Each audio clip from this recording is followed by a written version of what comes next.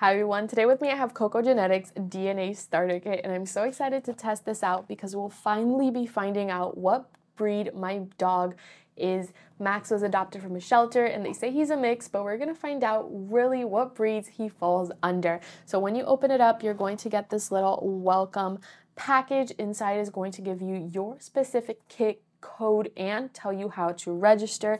You're also going to have specimen collection swabs to collect your dog's DNA and everything you need to ship it back to them. Now, results do take a little bit of time, but I'll be back to update you guys once I collect all the information and have his DNA results.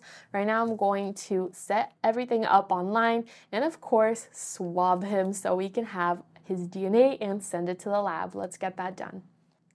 Inside your Koko Genetics kit, you're going to find the kit registration section. So there you're going to get the QR code and you can scan it in your phone or you can just go into kokogenetics.com slash welcome. So I have the website here on my phone and there's three steps to getting your dog's DNA sent to the lab. So the first, you're going to obtain the saliva sample. Then you can input the kid code registration, which comes inside your package. That is to connect your results together so you know that the results you're getting is yours and yours only. And then you send the saliva sample into the lab. So how are you going to do this? First of all, your pet should not eat, drink, not even water, chew on toys or other objects, or brush his teeth for 30 minutes prior to the sampling.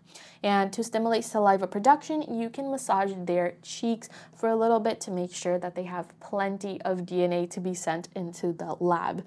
So you're going to remove one of the swabs from the wrapper and be careful not to touch the tip with your fingers and discard of the wrapper correctly. And then you can insert the tip of the swab inside the dog's mouth and rub it inside their cheeks and and they recommend at least 60 seconds of doing so to really slobber that little swab in saliva. And then you can put it inside the little tube. Here it is. You want to make sure that you break off the portion of the swab that is long so you can see it has a little indent right here and the only tip that is going to go inside is the little one. The other one is only so you can hold on to it and then you're going to discard of it. So all they want and all they need is two little pieces of the swab filled with your dog's saliva. Once you have that ready, you can input the codes and everything onto your account and then send this right into the lab. So this is definitely the fun part. It's almost like a science experiment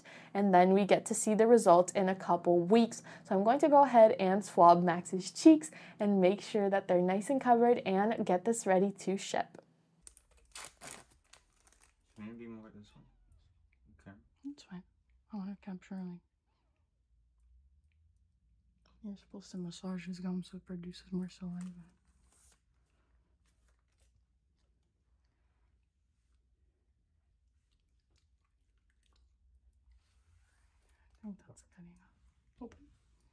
All right, you guys, I am all packed up. I here have Max's sample. We swabbed his cheeks for around 60 seconds as per the instruction. I did finish registering with a username, a password, everything, and then they'll send you to your email the little address. So I'm going to box it all up and ship it off to Koko Genetics, and in a couple weeks, they'll have Max's DNA kit all done and analyzed, and I'll be back here to show you guys what breed he is when the results come in.